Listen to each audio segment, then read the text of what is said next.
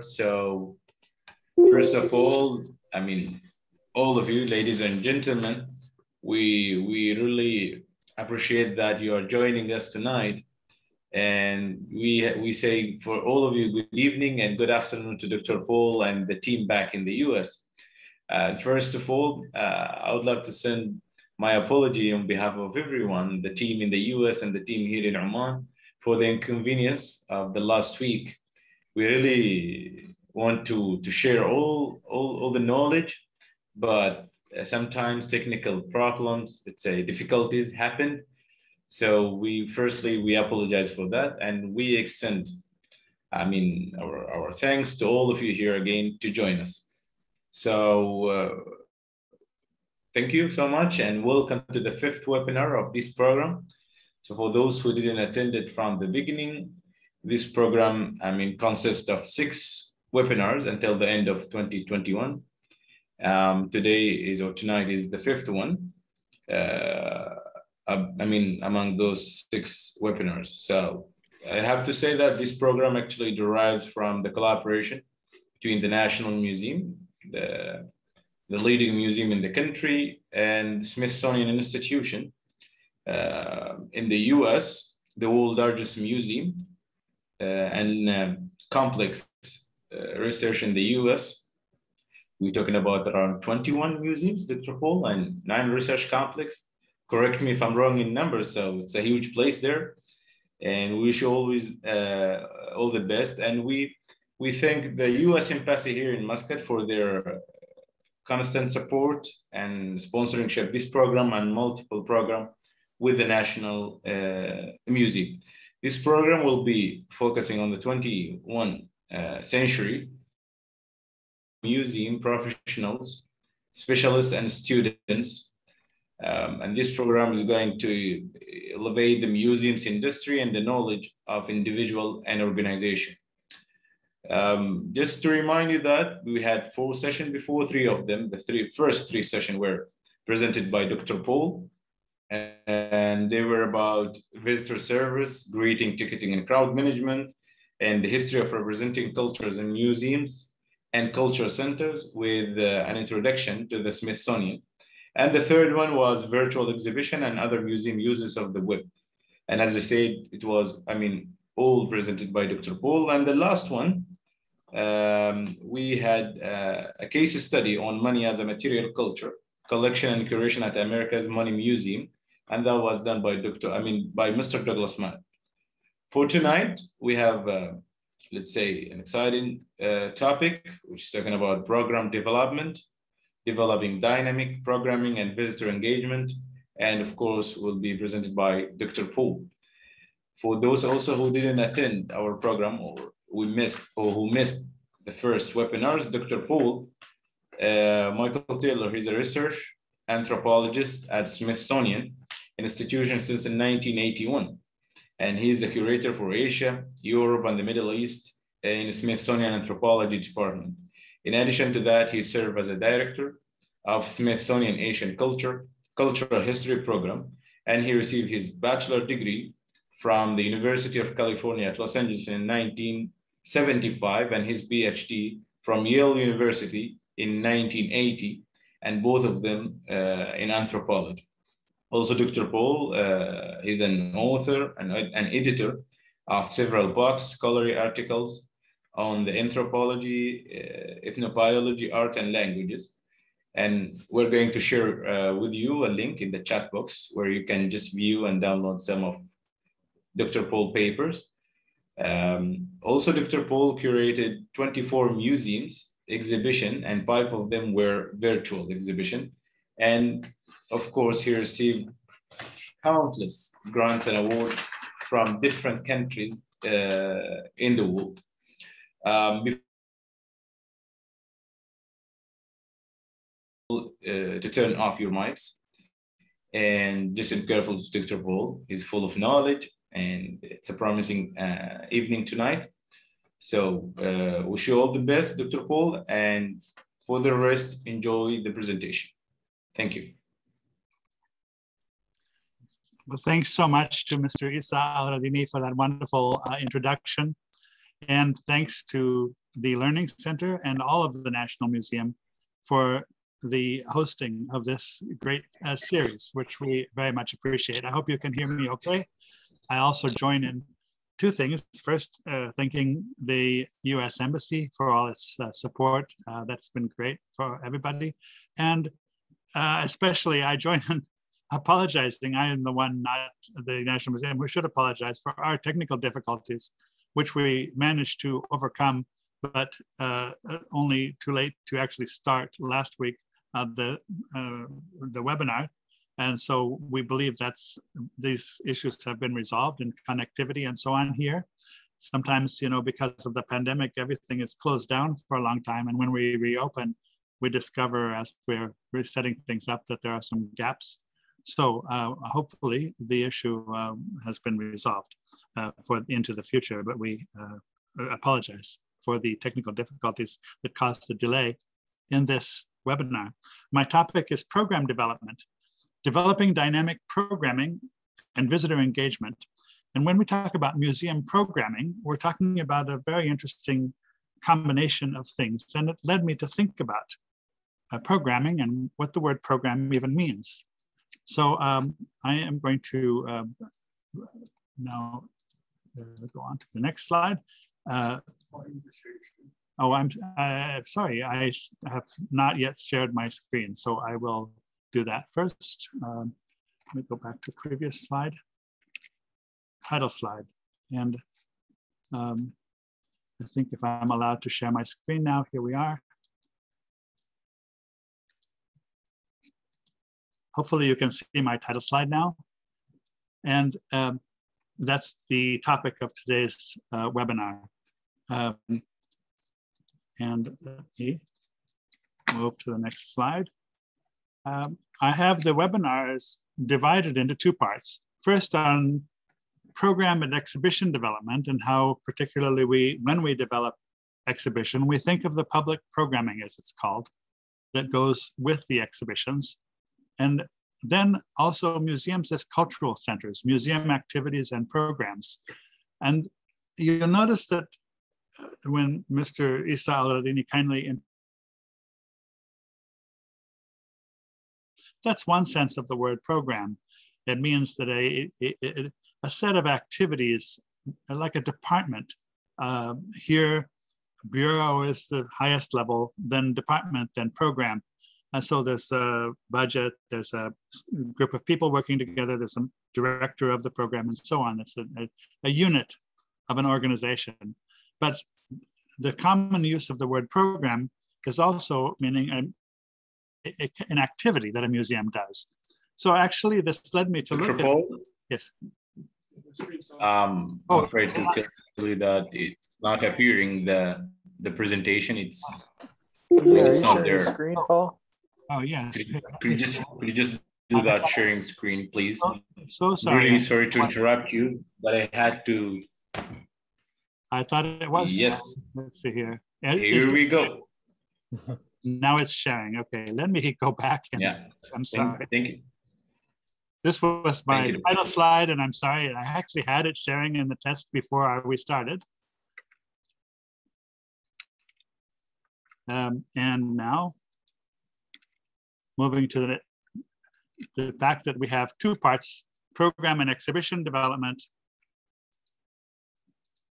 Here we are and also museums as cultural centers. That's what I was saying earlier, that in, in talking about the multiple uses of the word program, which leads me to talk about the um, etymology and origin of this word program, which actually comes from the Greek graphein, which has a form gram or gramma, pro meaning before, uh, is the same word in graphic. It means write. It refers to writing, uh, and so writing before or in front of people. So it came in, in a very early sense of the word uh, to mean a public notice in writing, an edict of some kind, something like that. It's far from the current meaning, as you see.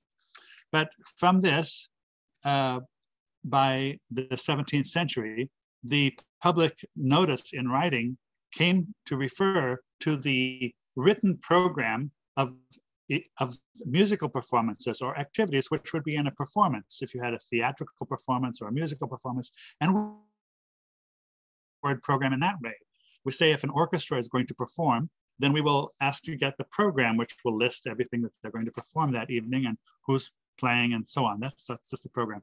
Now, this word uh, uh, program then came to be in a more broad sense, not just a written set of activities, but also just the activities themselves that could be carried out as either performances or film series or um, even uh, uh, research activities.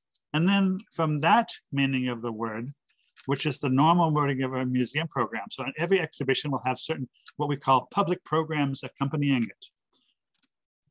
Um, and then um, you have yet another meaning, which is the meaning when we say Asian Cultural History Program that has a director, and that's an office that organizes a coordinated set of activities. We can call this kind of office an integrated curatorial program. That is, a curatorial office that organizes these programs. And the programs that it's organizing might be performances that have their own written programs, which is yet another use of the word. So um, I have to say English is rather ambiguous in terms of its meanings in this way, but I'll use some examples. Let's look at the range of activities first that museums normally do. I'll use an example from our Sikh exhibition, and this is showing here as just one example. I'll use some others. And then we also did an exhibition on Korea, which is, uh, uh, this, this is the catalog for that. And we have some other books and examples that I'll show in a minute.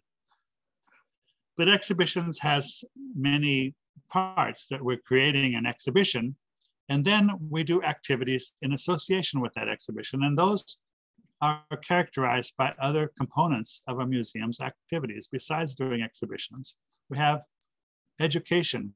Educational activities includes activities for schools, adult programs they're called. That means programs that non-children, not just school children, but that adults are invited to, like lectures, uh, performances, and so on, tours, materials. All these things are called educational programs. We also have various kinds of outreach programs. Um, and those include lending, traveling exhibits, and so on. So in our in the case of our Korean exhibit, I just showed you some of the uh, uh, activities like the um, public uh, activity doing uh, Korean calligraphy for people. And then here is an outreach activity of taking our exhibit that we opened and showed here in uh, 2003 in January and by June, it was already um, being shown uh, elsewhere around the country. And it traveled around the country. Another museum activity, of course, is research. And I've talked about this before, so I'm not going to be focusing on that so much this time, but that includes publication of source materials and research result, re results.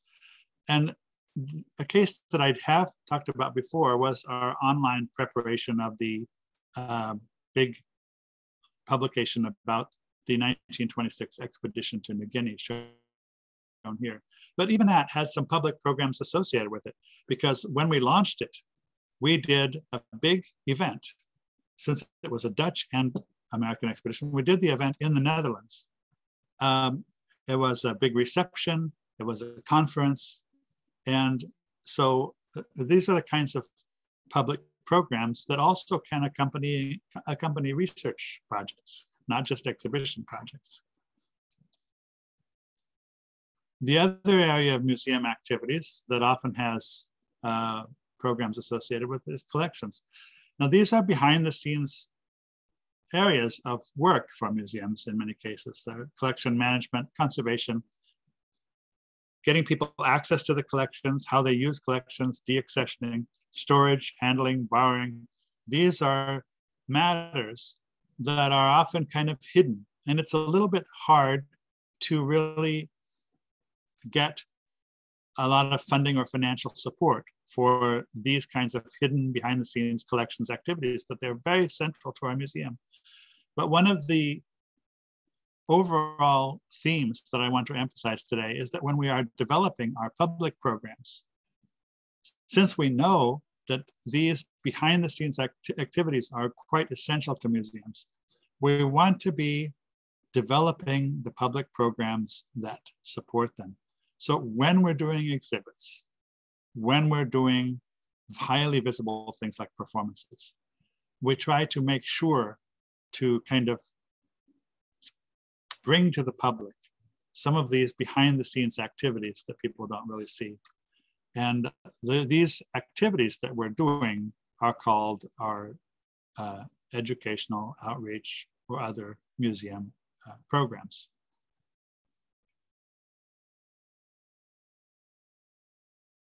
The exhibition called Sikhs Legacy of the Punjab. This is the view of the opening of the exhibition when it first opened in 2004 here at the Smithsonian at our museum. And this is the, one of the entrances to the exhibition. There were, there were two entrances. Um, and, you know, uh, there are a lot of steps in doing an exhibition like this, but now what I am really focusing on is the fact that from the beginning, when we were planning, we were also looking at ideas for public programs that um, could accompany the exhibition before it opened and also when, when it opened. I say before it opened is also important because the exhibition opened in 2004, but we began a new project called the Sikh Heritage Project in the year 2000.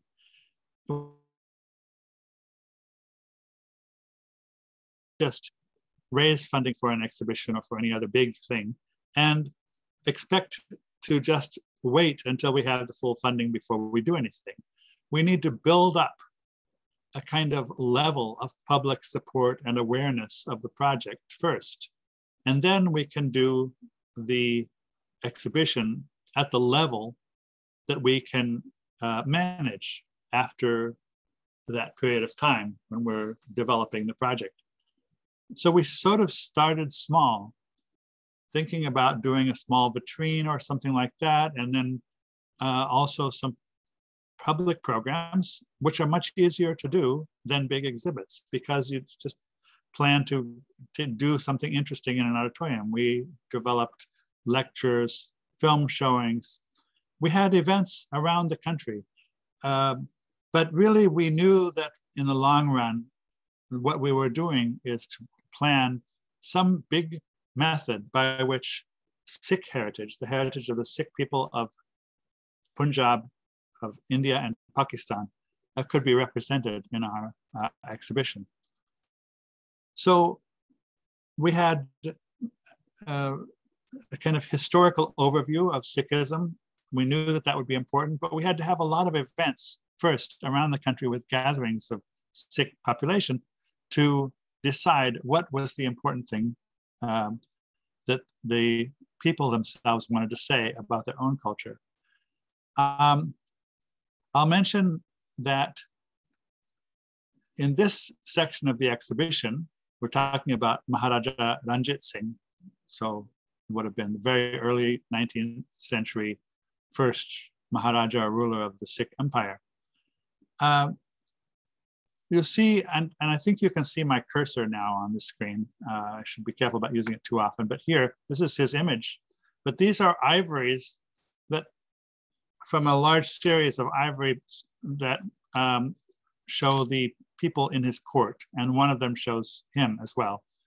Um, we had to rotate them, couldn't have them all at once because ivory is very fragile and the paint would fade if we kept it in the light.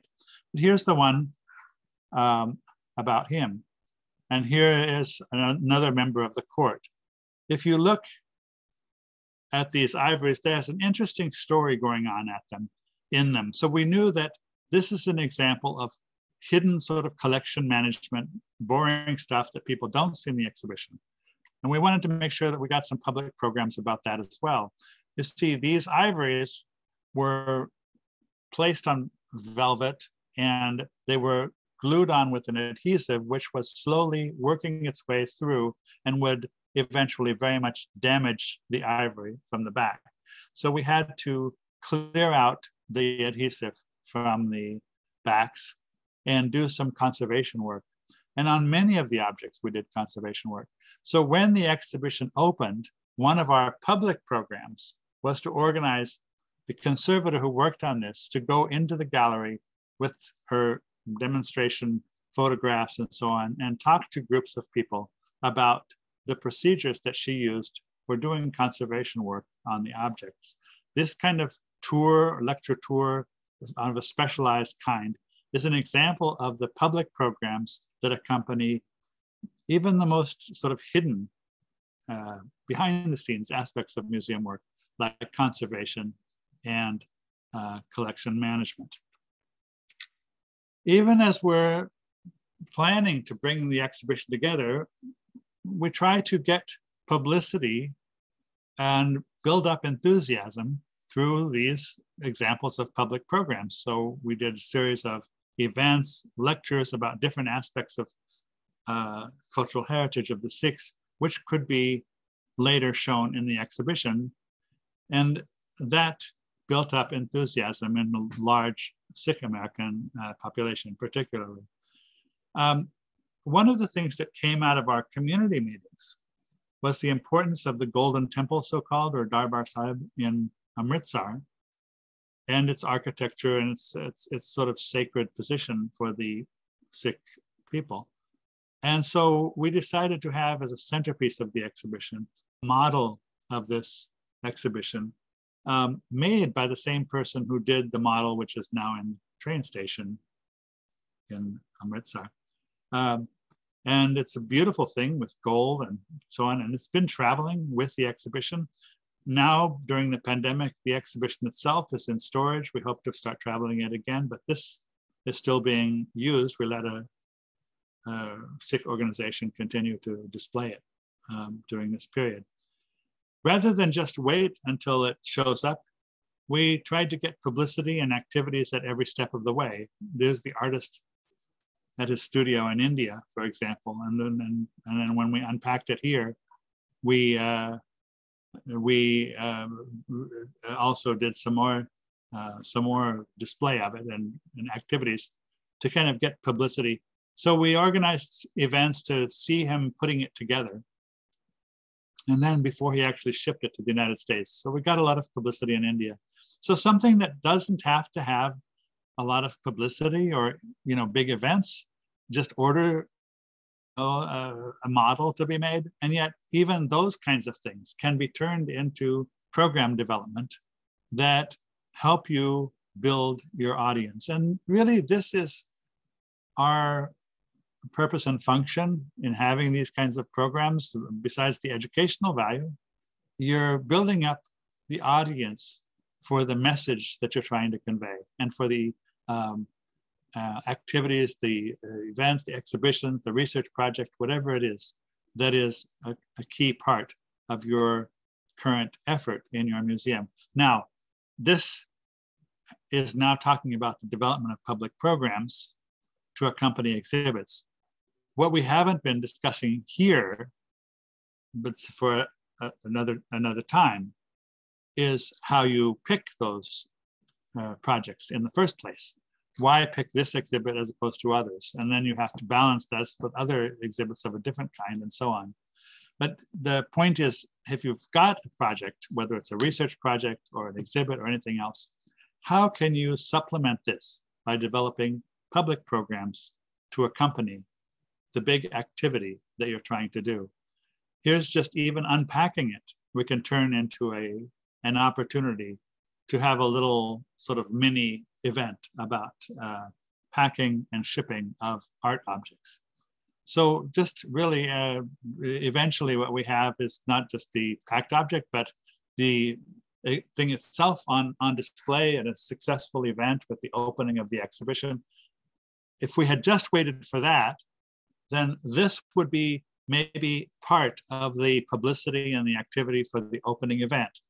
But by the time this opening event occurs, you see we've had a numerous public programs about the various steps, the conservation work, the, um, the, the, the, community discussions about how Sikhs should be represented, the uh, creation of the model that will be used in the exhibit, the formation of different people's private collections that we borrowed from.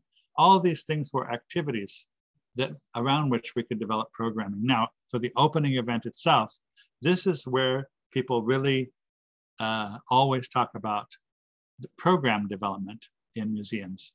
Um, that is, you don't just one day, you know, go into the museum and the mu and the exhibit's not open yet, and the next day you go in and the exhibit is open and nothing happens. I mean, that can happen and does happen, but usually this is precisely the occasion on which um, these kinds of events that are anthropologically what we can call rituals take place. And that's like the opening of an exhibition. Here's the opening of the exhibition Sikhs Legacy of the Punjab in July of 2004. Uh, there's actually Amritsar and its Golden Temple in the backdrop of the performance that was taking place. We had, you know, high level speakers from India and Pakistan. And but I may, I may add that it, it's not always easy to get high level government officials from both of those countries to celebrate in the same event in Washington. But, it, but for this, they did so.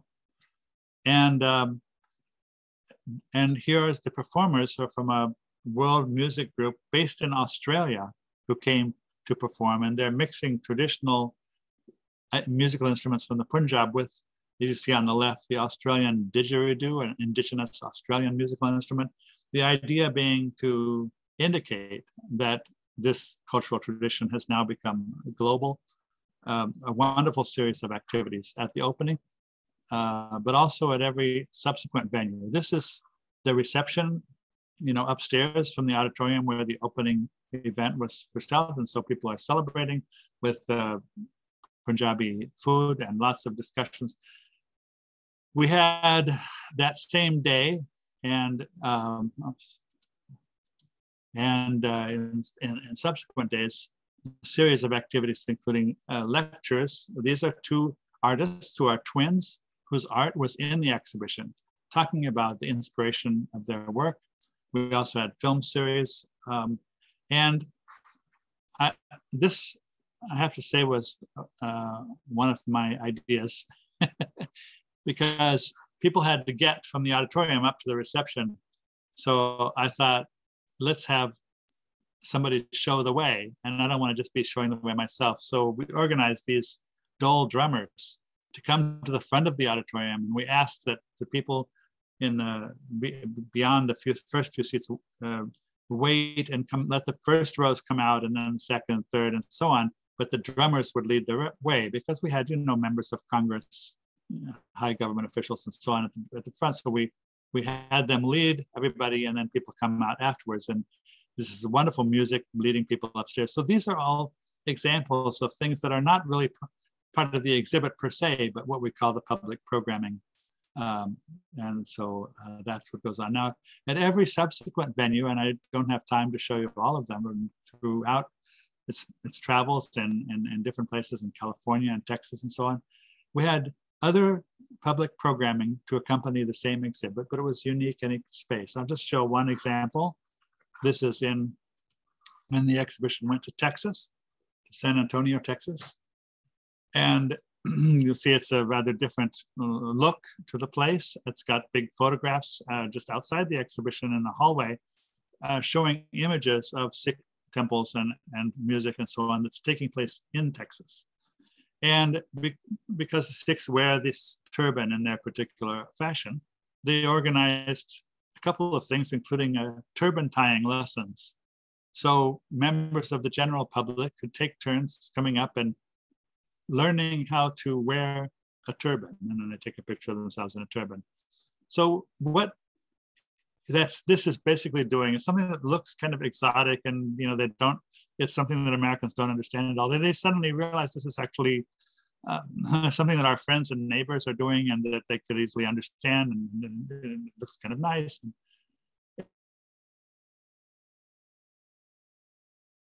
a very uh, different um, uh, sort of population group and uh, cultural tradition. And, uh, and this was a big success. And I think it was considered a big success by everybody uh, involved. And I don't think it would have had the same level of public interest and attention without all the public programming that accompanied that exhibition. And the exhibition went on, or I should say the Sikh Heritage Project, as we call it, went on to produce several other publications, including the one that recently came out, edited by Sonia Dhami and myself, Sikh Art uh, from the Kapany collection. And we have another one uh, coming out soon in 2022. So it's been an active project and public programming has always been a big part of it. It's been tough to do public programming during the pandemic because you know a lot of in-person activities can be postponed. But uh, that has been a big effort. Now, another project and another exhibition is our Korean Heritage Project. And this was founded in 1985. We've never tried to um, build an empire with it or anything. you know, it's always been a, a, a modest effort, a small, uh, one effort of many, but uh, but an important effort. Uh, I say many, but we can never do very many places at once. I mean, because it's just a, a one single research program and, and, and museum program here, the Asian Cultural History Program. Um, but I, I use this as another example besides the Sikh project to illustrate the range of variation. So as usually happens, we set up a dedicated fund and by the terms of the wording of the fund, the money can only be used for a particular type of thing. So this is the wording of how a fund was set up. Um, our auditors would make sure that nobody could use the money. If somebody donated money to this effort, uh, the auditors would make sure that the money only got used for, for this purpose and for no other. Um, so we have a fund set up and then that fund can do different types of activities. And some of these include the lectures, performances, and events, which I have to say are often much more convenient to put together in a relatively short period of time and very effective in public uh, in the public's view compared to collections-based research and publications. Uh, now, publications uh, this is uh, publications by Chung Soo Cho Houchins, my late colleague, who wrote a book about one of our big collections here, but it took many, many years to produce. So these are big efforts to do. And the publications are wonderful to have. This is some of the range of topics in the collections that we talked about. Uh, what I want to say about this though is if you, they take years. So if you just do those behind the scenes efforts to come out once every four or five years or six years, then it's going to be hard to maintain a lot of public interest. We've also done exhibits and we've had we had a big Korea gallery exhibit I'll talk about in a moment. But again, if you only do a gigantic thing once every six or seven years, it's very hard to uh, maintain that public interest. And that's why we separate those by smaller projects and smaller public programs that are relatively simpler to do, but that maintain the level of public interest. So for example, we did a very small exhibition just of contemporary ceramics. And uh, this was, uh, I think, quite a, a successful um, event. Um, and in the case for the, for the Korean uh, project.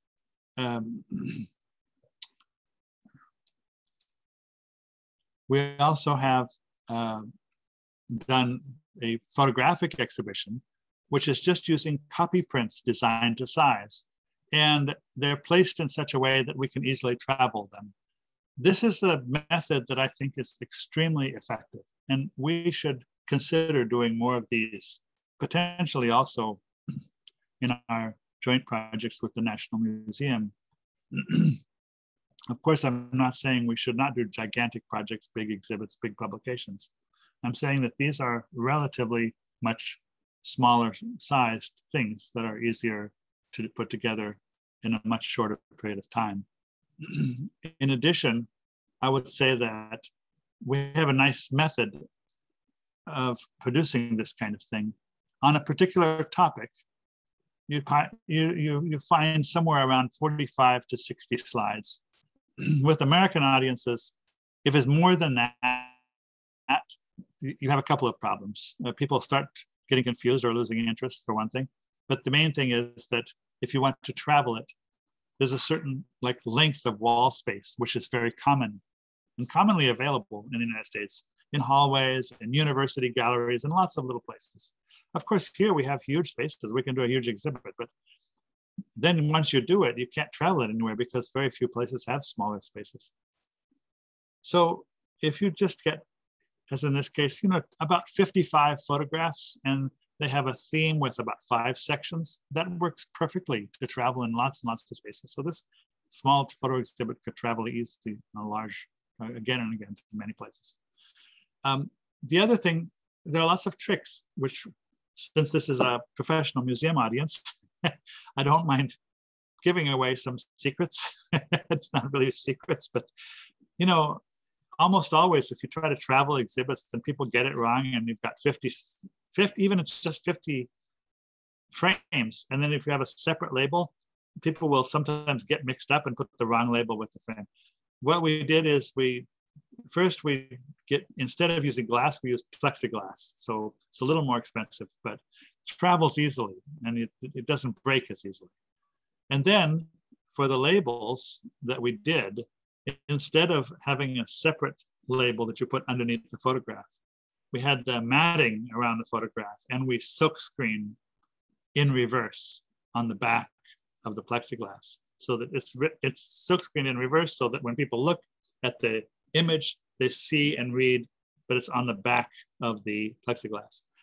No way can anybody put the wrong label with the, with the photograph because they're all built in to the frame itself. The frame the copy print of the photograph. Also, you don't have to worry about the high insurance costs and you know, it's a copy print. So everything can be designed to size it's a very, very convenient way. Um, and uh, here you see um, this picture of the ambassador at that time from Korea. And this is what they look like, you know, and the, the, the, the, the text is here, is in the, cup, in the frame.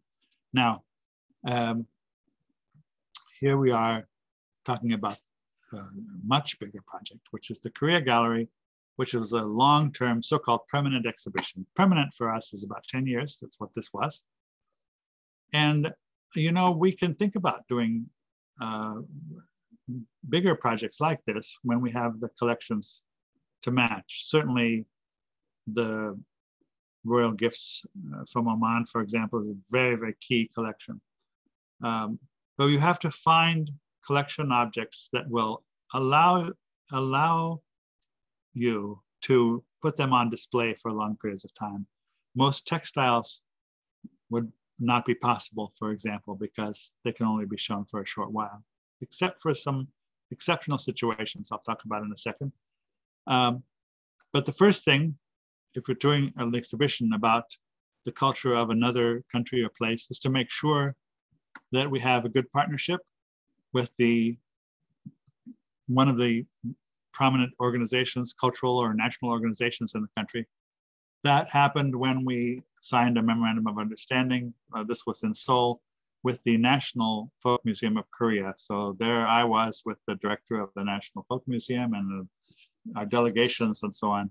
That was a very nice uh, event, but it was more than just a party and a dinner. It was really a plan to work together with a lot of hard work in the coming year or two to put together uh, a, a, joint uh, exhibition about uh, Korea here in the United States.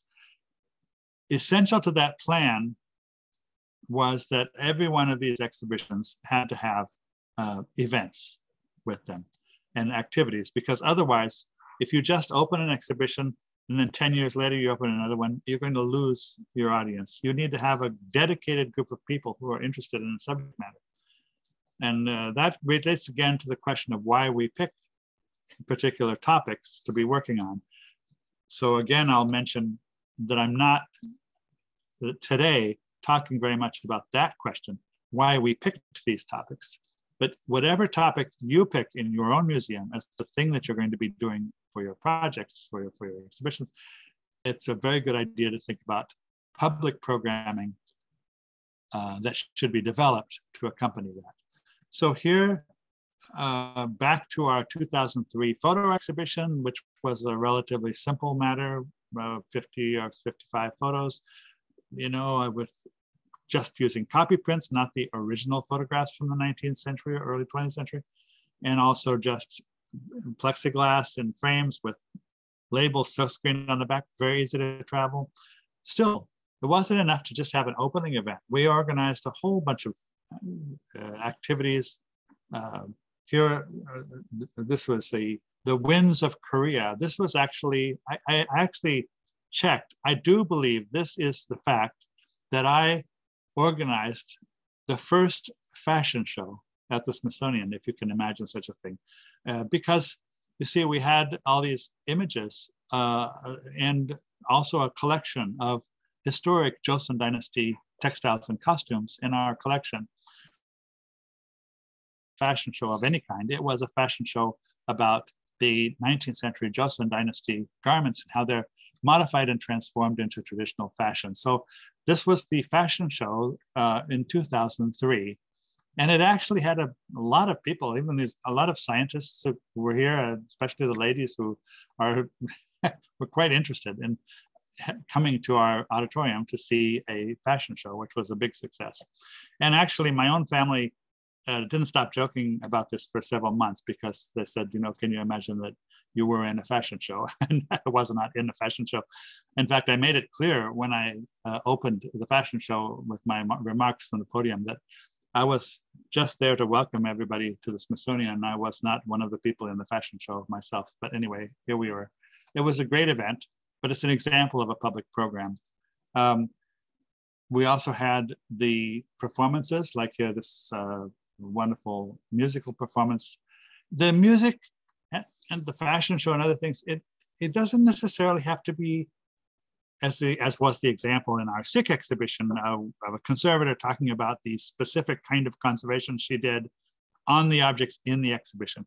It doesn't, it's not that every part of the musical performance that you show in the performance has to be related to something in your exhibition. It's enough to say that the exhibition is about the cultural heritage of Korea. So we're going to have musical shows about uh, Korean traditional music.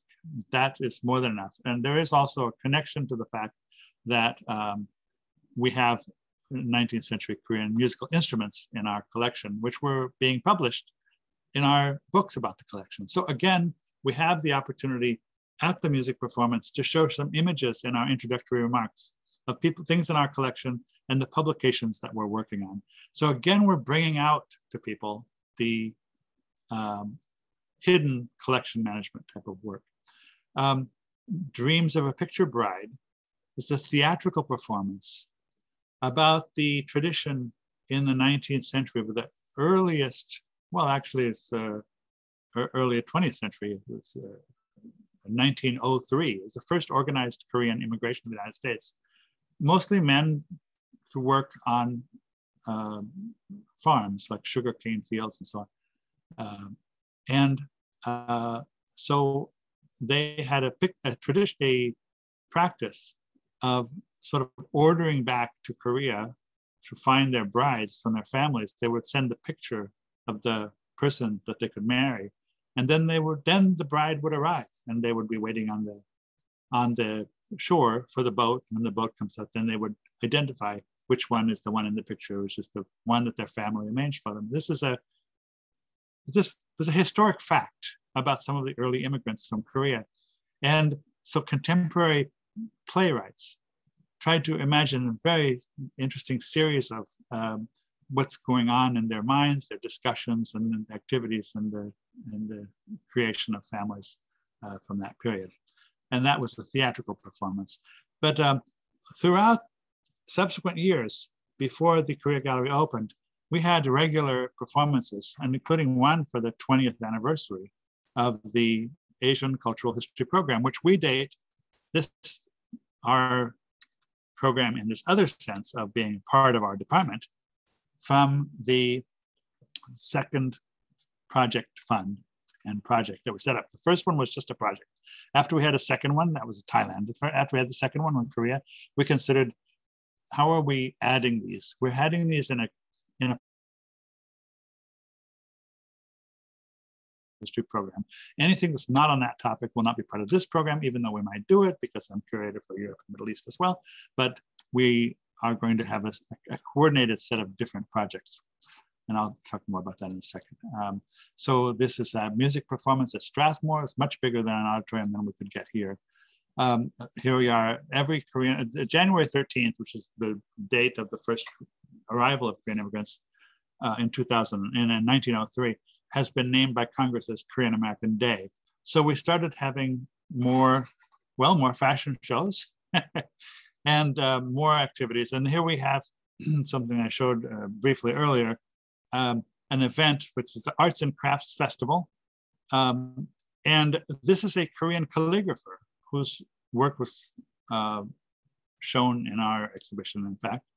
And he is teaching kids how to do little bits of calligraphy. And he, in each of them, leaves with his or her name written on a piece of paper in, in, in, a, in Korean script. You see, so this is just showing how the Korean alphabet works and, how, and sort of basic stuff like this to make Korean, make kids interested in the kind of activity.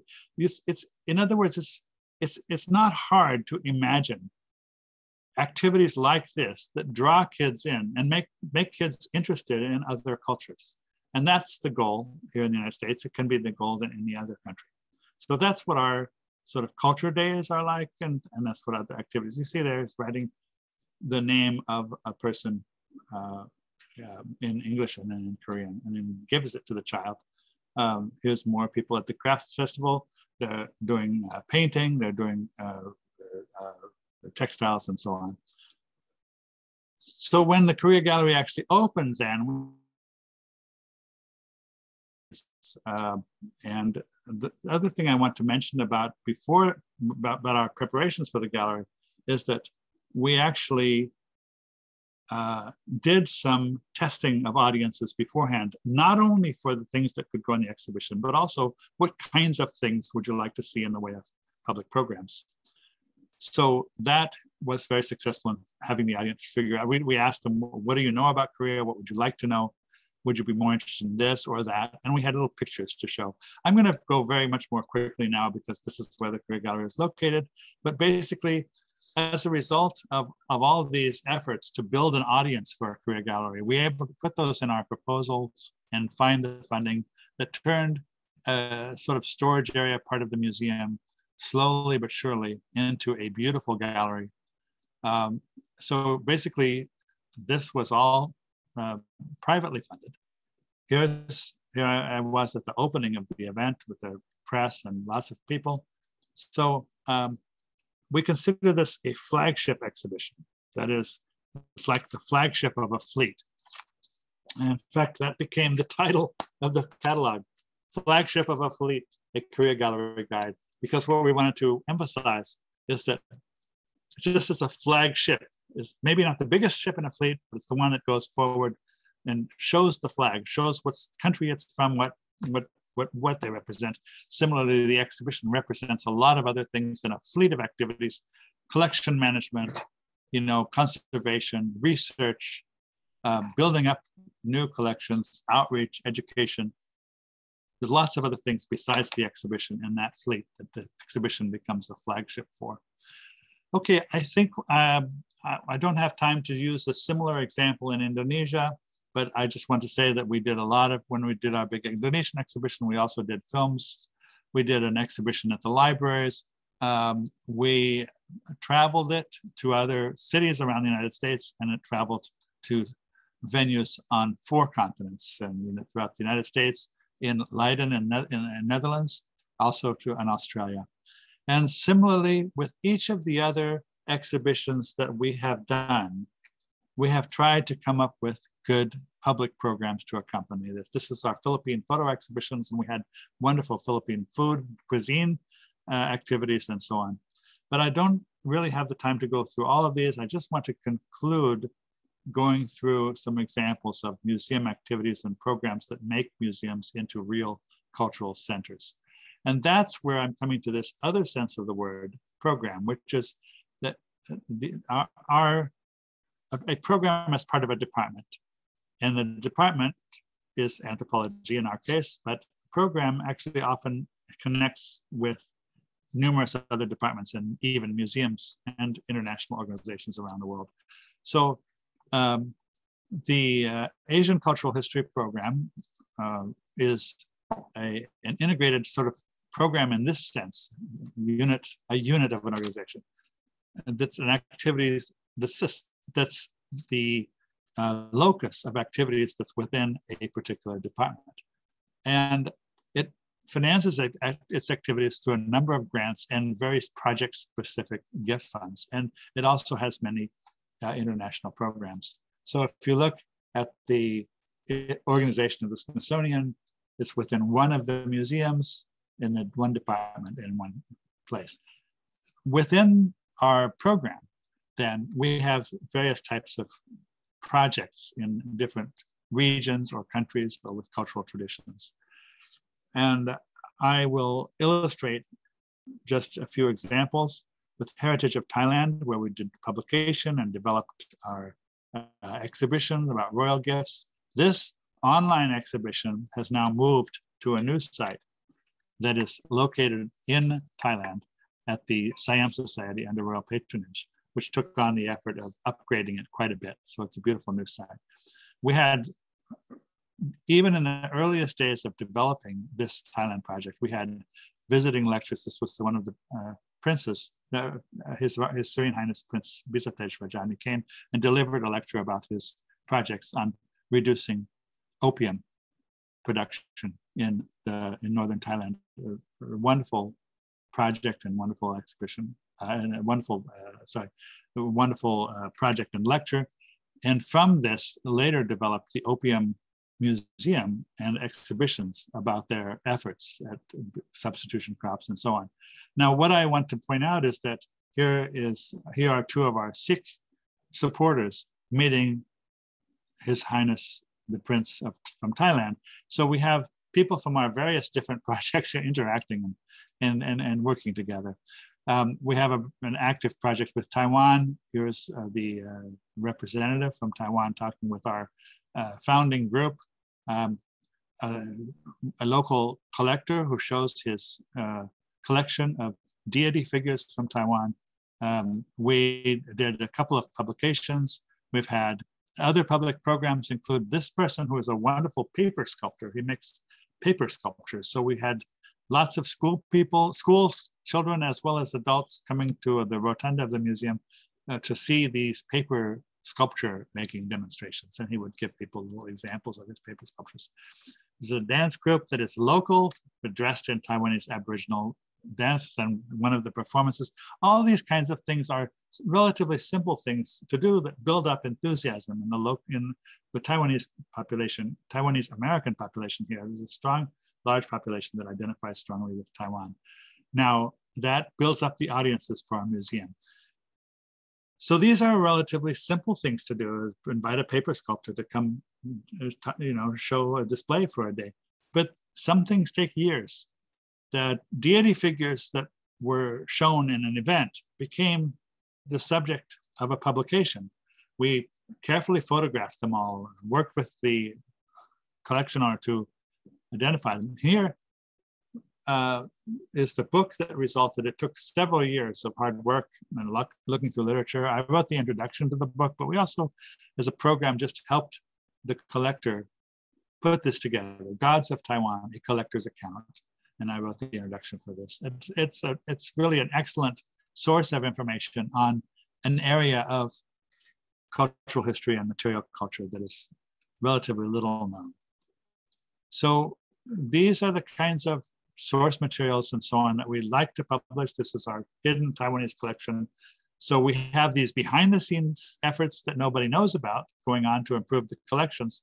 It's hard to make them the subject of really a lot of public excitement. But when we have exciting public programs, which we do, you know, um, tea tasting events from different types of Taiwanese tea. So then we take the opportunity to talk about this. And we've had some great events, including one at the craft show, the annual craft show of the Smithsonian.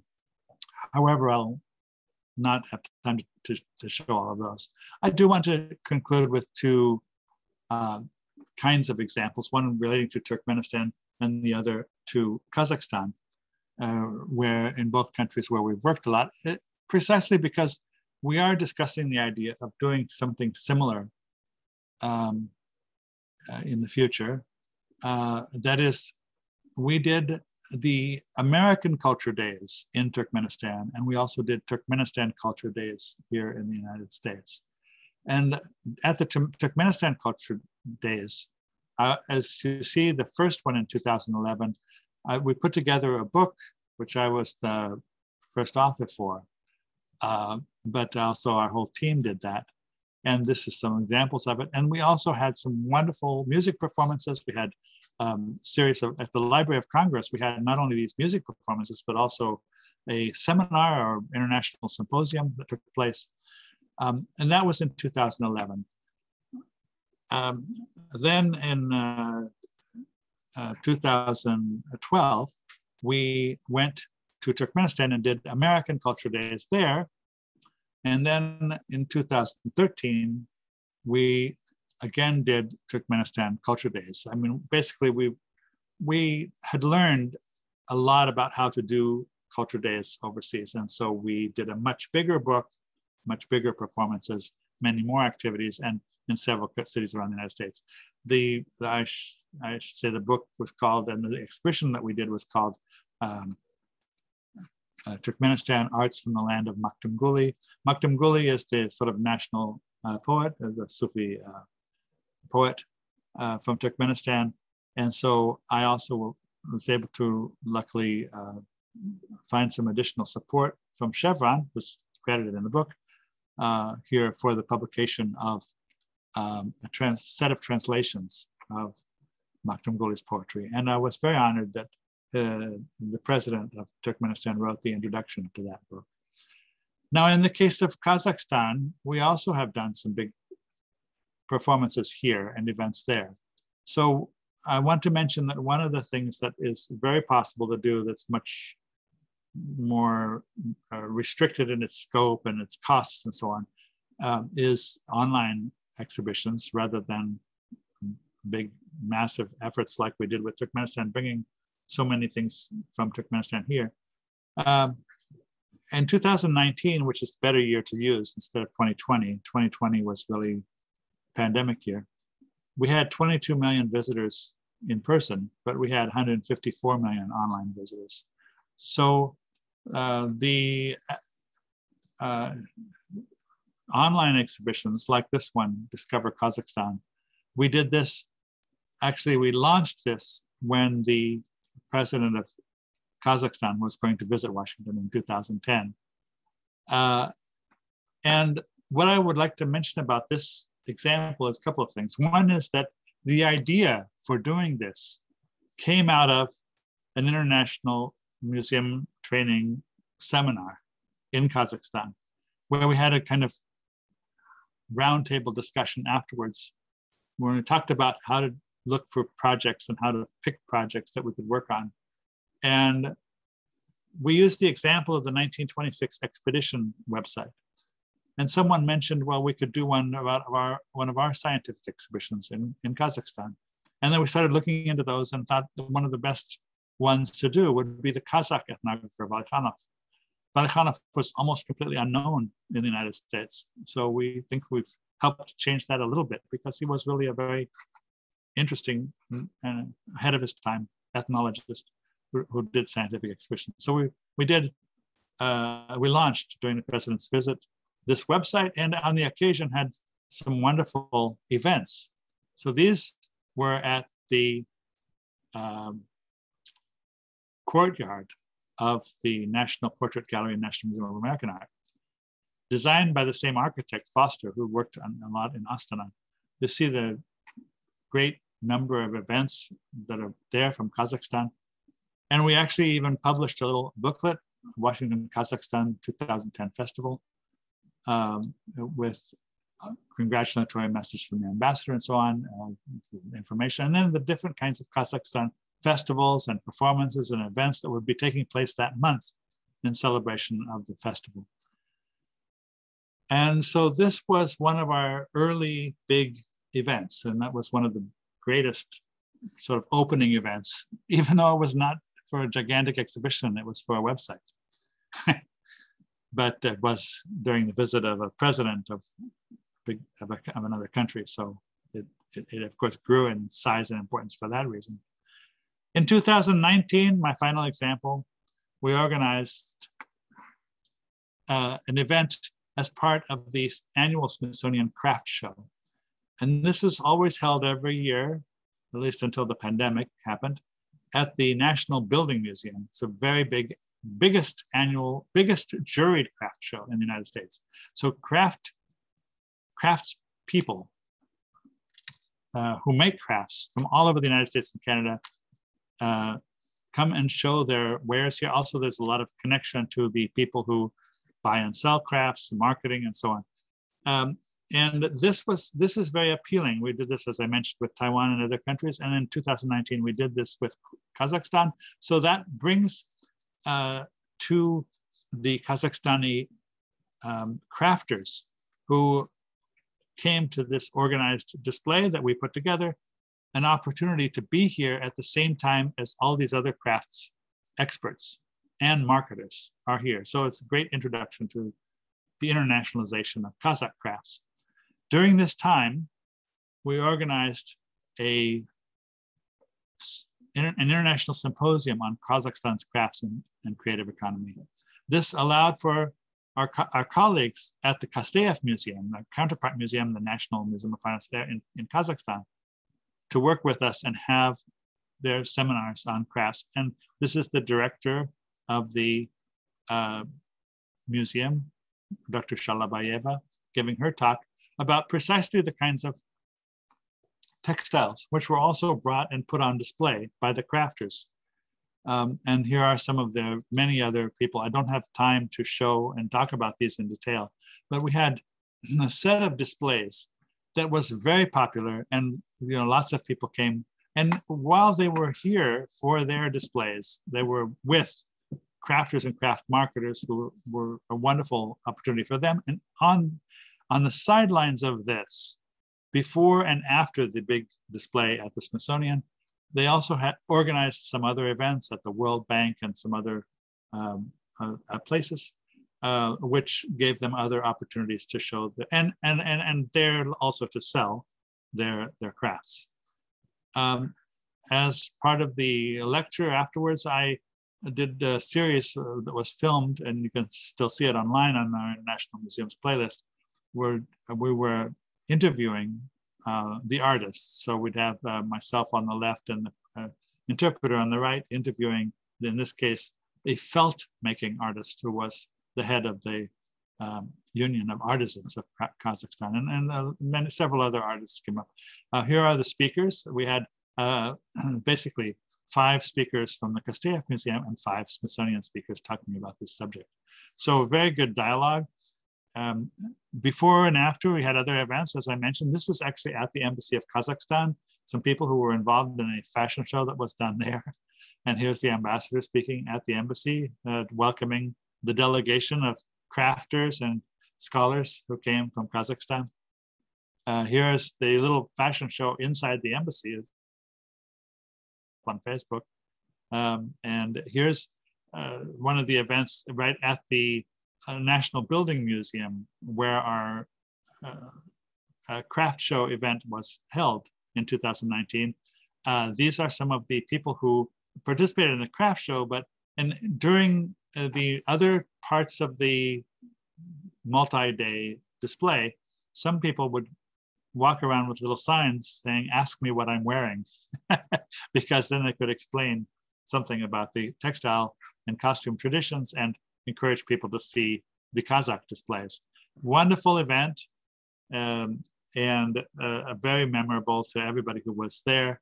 And I, I, I hope that uh, the uh, idea that is actually currently under, under discussion, so let's just say it's under discussion anyway, uh, of having Oman and Oman's own crafts representing represented at a future um, annual craft show of the Smithsonian uh, might take place. And uh, if so, it would be wonderful to organize some kind of lecture uh, or seminar or symposium uh, with real experts from the museums and perhaps National Museum uh, of, of Oman to be here as well and really sharing with the American people some of the wonderful craft traditions of Oman.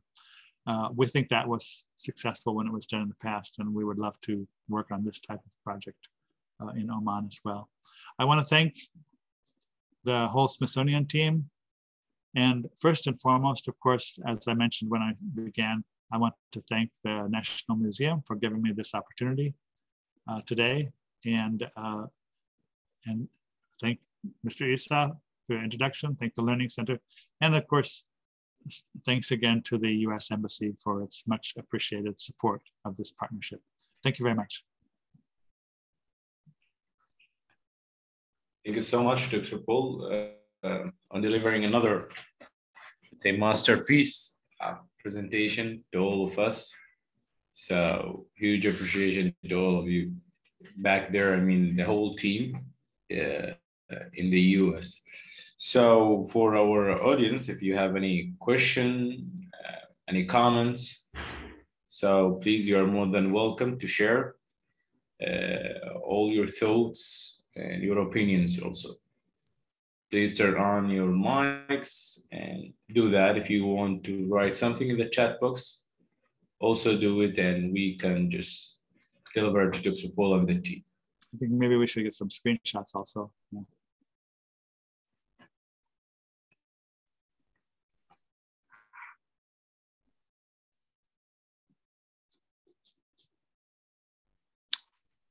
Perhaps I already oh. answered everybody's question. I'm Just joking. Maybe yeah. You you did it very well, Dr. Paul. So no. Anybody has a question? If you have a question, please do that.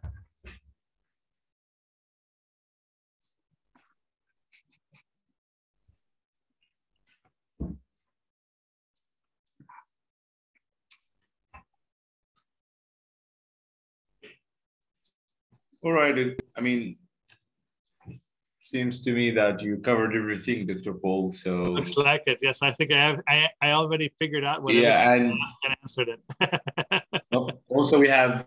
I mean, you know, record the the session so we can also share it with with those people who wants to, you know, to rewatch the the webinar or the session itself.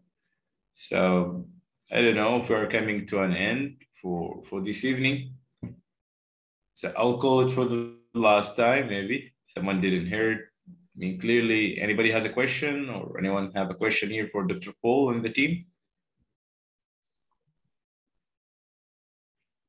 If not, I just uh, look forward to the next uh, uh, webinar, which is coming up. Yeah. And uh, so we will look forward to seeing you then. Inshallah. Sure. So uh, believe here we have come to an end. So we thank everyone again, Dr. Paul and the team back in the US, and the Learning Center of the National Museum, and of course the US Embassy here in Muscat. Uh, also, a huge appreciation to everyone who it was, I mean, scheduled to be last Wednesday, but as we mentioned earlier in this webinar, some problem I mean, technical problem, difficulties last week, but alhamdulillah, we have done this session. So looking forward to see you next, I mean, in the next session here. So to all of you, thank you so much and good night and keep following the National Museum platform everywhere. Thank you so much. Good night. Good night. Thank you. Bye-bye. Bye-bye. Thanks.